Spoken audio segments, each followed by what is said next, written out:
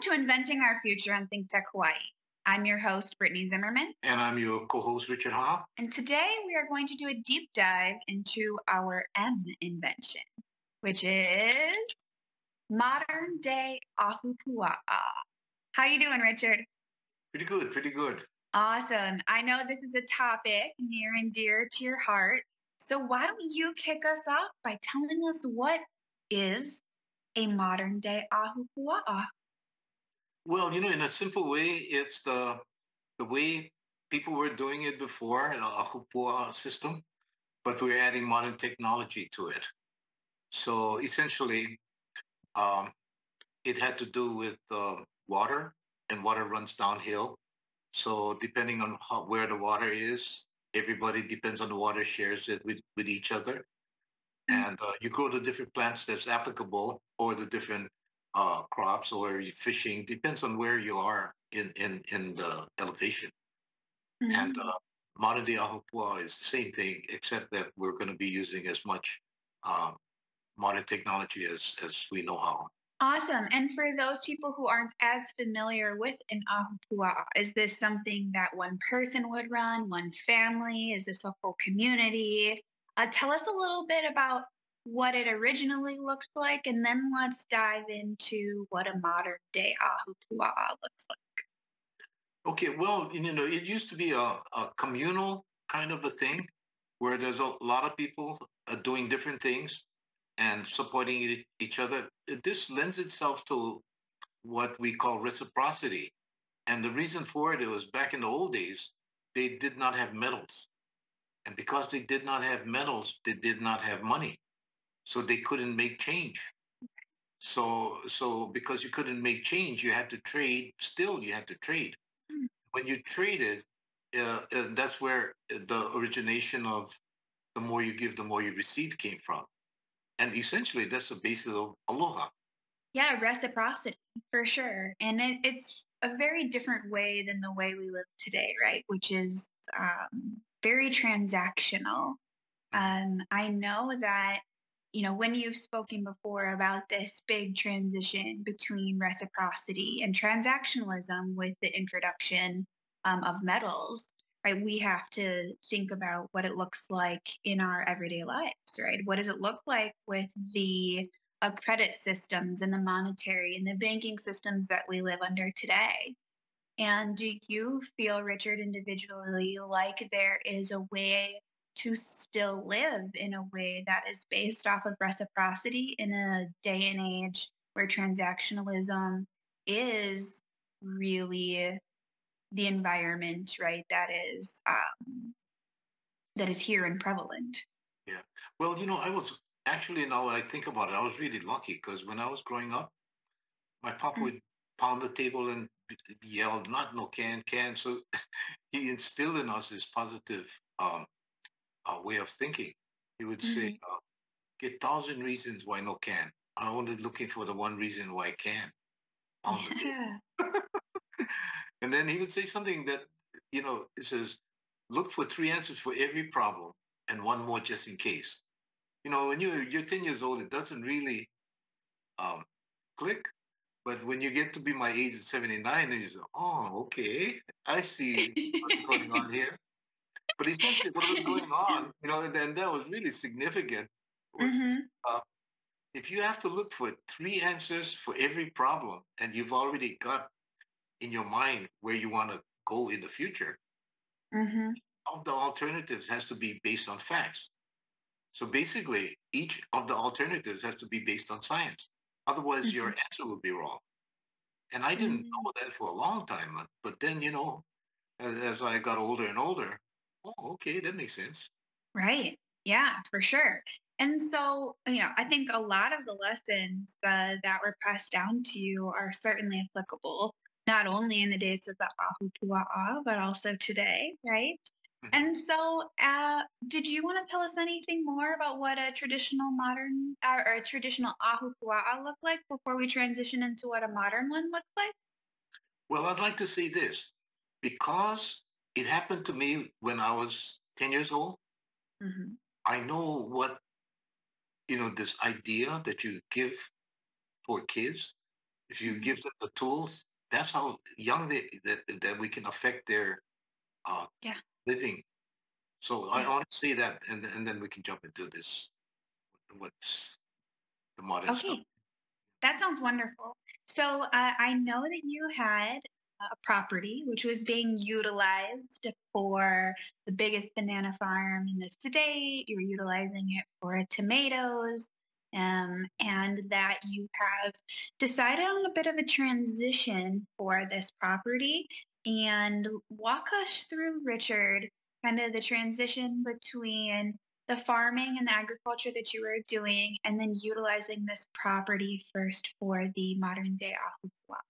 Well, you know, I started off um, on on this journey back when I got out of the army, and you know, so all, the values my pop gave me. But when I, came out of the army, I went to um, Maku, our family land there at Maku, and um, Uncle Sonny, the the son of uh, Tutu Lady, who's the most influential person on, my life at, when I was young. Uncle Sonny had gone uh, and became a merchant marine, which means he went from subsistence farming and he went all over the world. Then he came back, Mm, and then he came right back to subsistence farming.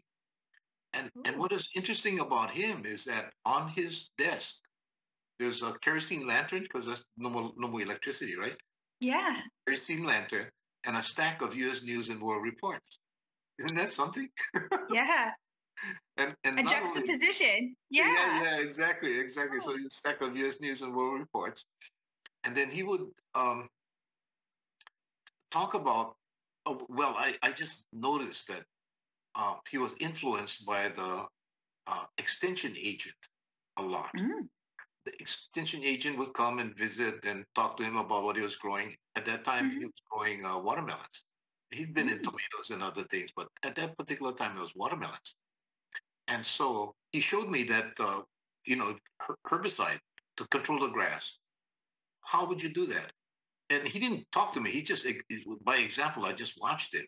And he would go do the mixture and then take a piece of California grass, a grass he was going to spray, and stick it in the water and look at it to see if it was reacting the way it's supposed to.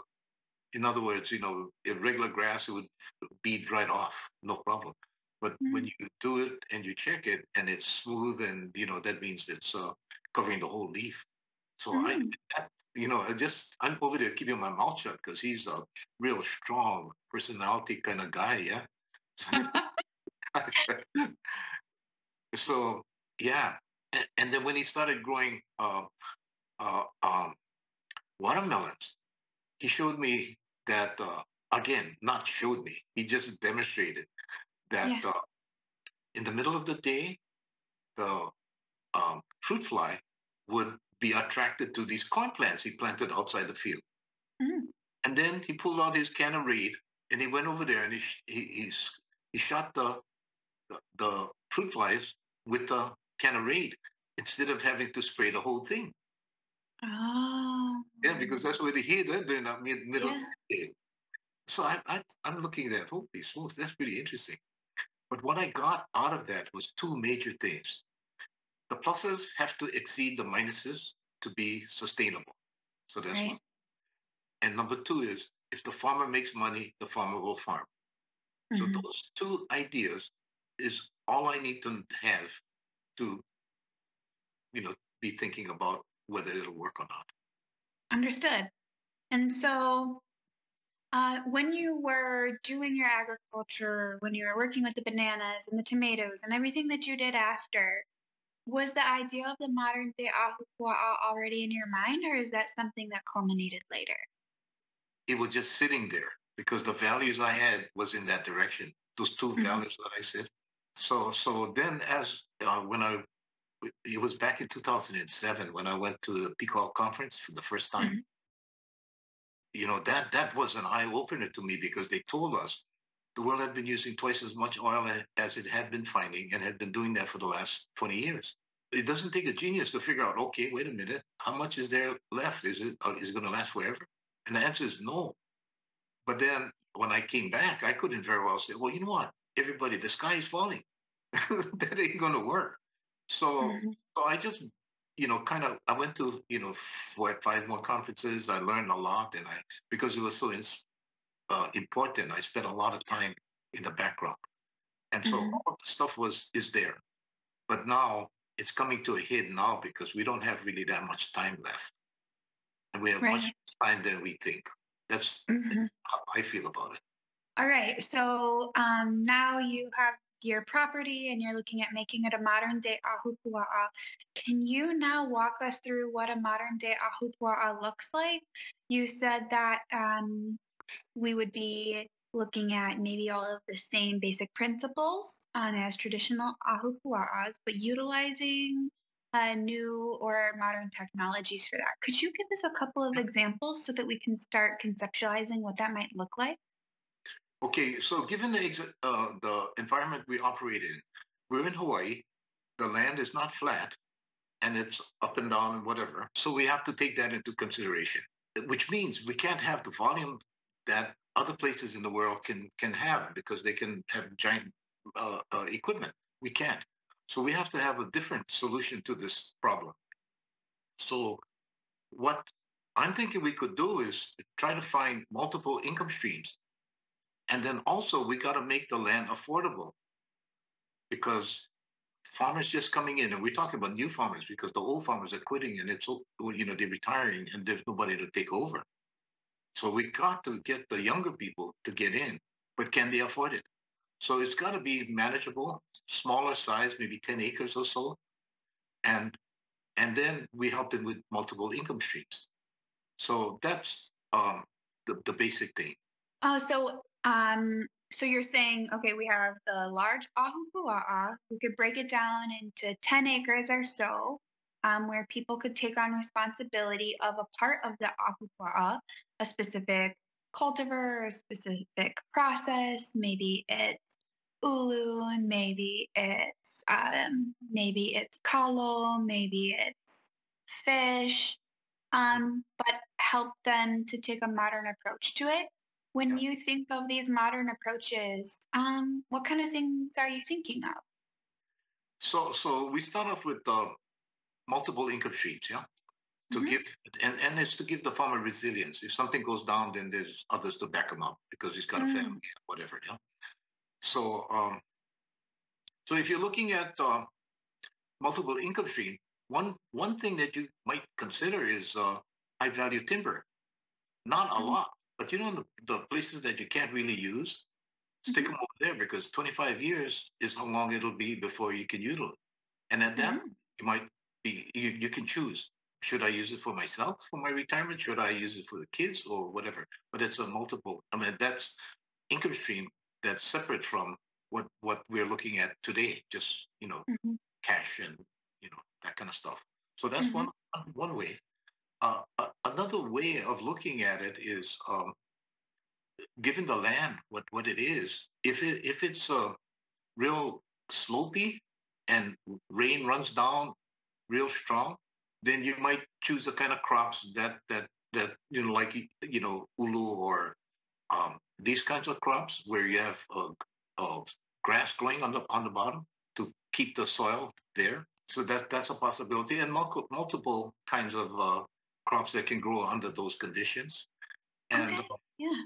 yeah, one other one was really interesting is sweet potato. If you grow sweet potato, um, the, the traditional way there's so much left in the ground and then you have to wait 18 months or so before you can come back in because of there's disease in the ground et cetera et cetera on the other hand if you use hydroponics and had a a, a, a gutter kind of a system where it like a rain gutter and Mm, you had one end where the fertilizer and the and the liquid is in and then every so often there's a place in it where there's something that can uh, you put a bag of of of uh, uh, uh, media, and when you put it, it sucks the the the water into the bag. mm, That way, it sucks the water and nutrient into the bag. But the thing about it is, it doesn't take uh, much to uh, monitor something like that. You could send the kids mhm, out go check the water, and then you can harvest and use 100% of the, the product. Mm. And you can come in as fast as you can replace it and get it going again. You can replant. You don't have to wait the 18 hmm months. So that's another way of at it. Then all the other things, you know, depending on who's doing that, they can decide what they want to do. Yeah. But hmm just, just ideas, you know, of what could be done. Yeah, for sure. And as you talk about some of that, right, um, in terms of maybe hydroponic options and things along those lines, those typically require um, significant amounts of water and energy. Um, is there anything special about your particular property that helps with one or both of those? Well, you know, we have two springs on the property that you can actually see. Those are springs. And what is really interesting about that is it's it's spring water that comes out from deep into the lava from from high elevation. And what that means is that the pH of the water is stable, 7.23, something like that. hmm The chemical content is stable because it's coming through the rocks, hmm and the temperature is stable. So now you can do a lot of adjusting to that given what you already know. So you're not just throwing stuff and wasting it, yeah. So hmm just play with it. to What makes sense, yeah. Okay, yeah. So for the crops that need a lot of water, right? You're on Hamakua uh, coast area. You have a lot of rainfall, and you also have uh, two springs on the property to be able to feed large amounts of water um, to some of those crops. So you have uh, different types of energy sources that may be available to the island, but on your particular property and for the modern day Ahupua'a, you have hydropower. Can Yeah. you talk a little bit about that? Oh yeah, the, the hydropower came from um, the flume system that the plantation made. Now and that, that's a really interesting situation because the flume system takes the water down from Waia'ama stream and it comes down and it goes into Aliyah stream. Mhm. Now, Aliyah stream is interesting because Aliyah stream is not a stream that's down in the in the valley. It's it's a stream that runs on the on, on the ridgeline. How is that, you would think? Mm, So so you know, and, and it runs down the ridge line and it goes to the bottom. And in the old days, they used to plant taro over there. mhm, So how, how would that happen? Uh, my best guess is that it probably was caused by an earthquake long, long time ago. The spring bu- uh, jumped out of the, uh, uh, I mean, the water came out of the ground and it was on flat ground. And there were all these other places that had the, the rivers and gullies and this and that. And so it was on the mhm. top. And that's, but anyway, that's Aliyah Stream. I got sidetracked here. Um, but it's so interesting, you know. So, so essentially, what I'm saying is, you you got to be kind of fleet-footed and and look at your situation and try to be as open-minded as you can, and use the mo- the most modern technology that you have, um, based on science. Mm, Yeah. Got you. Yeah. And that's how you utilize your um, spring water. You produce energy from the movement of water. And then you can utilize that to support some of the other maybe uh, hydroponic or higher tech solutions.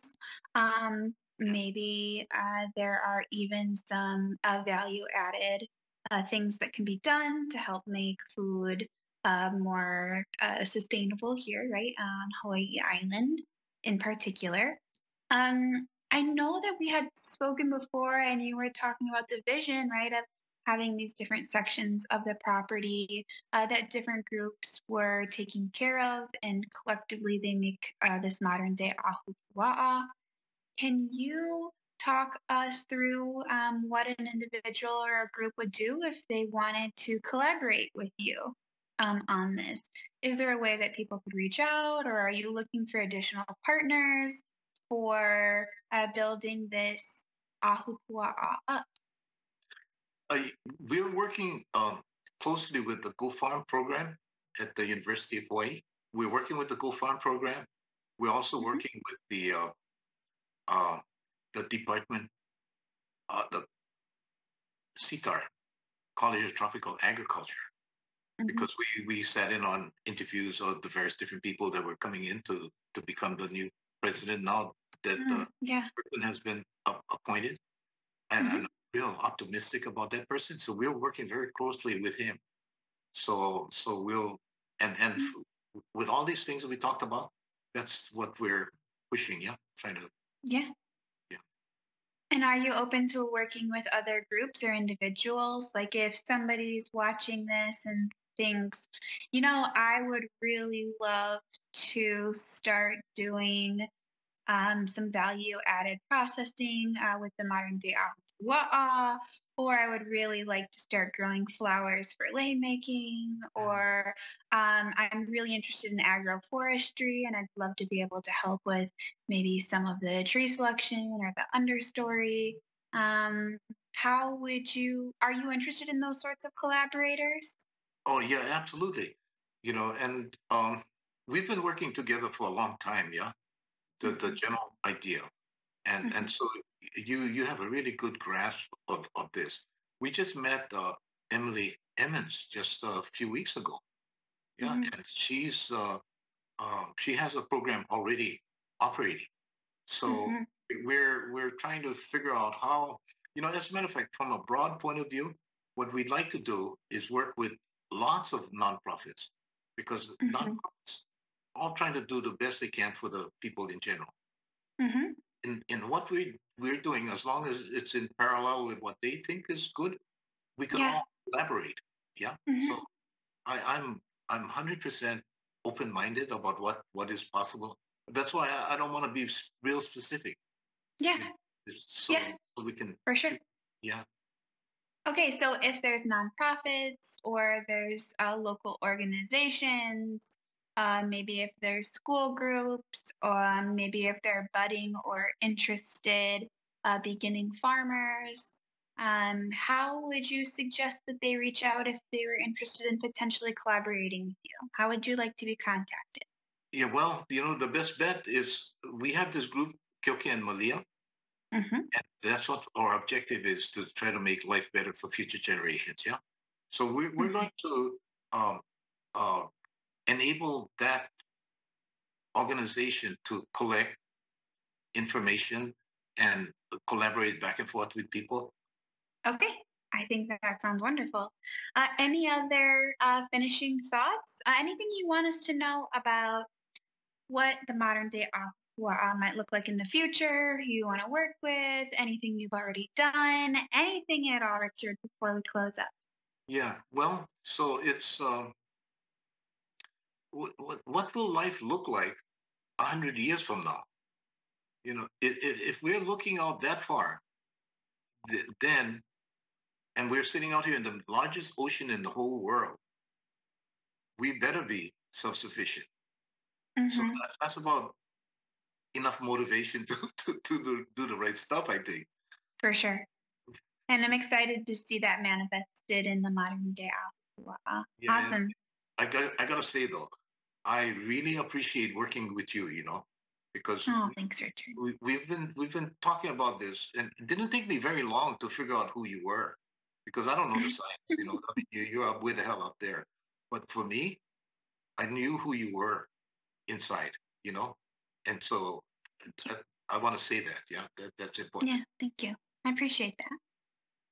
All right. Well, I love working with you too. Um, and uh, hopefully, we'll have lots more to report on the modern day Ahupua'a here for you guys soon. Yeah, Uh, but this is Inventing Our Future on Think Tech Hawaii. Uh, thank you again for joining us. Uh, thank you to our viewers for watching. If you want to get our email advisories to see a complete listing of our shows, you can sign up for those on thinktechhawaii.com. We'll be back in two weeks, so please tune in to do a deeper dive into our N invention. Until then, I'm Brittany Zimmerman. and I'm Richard Ha.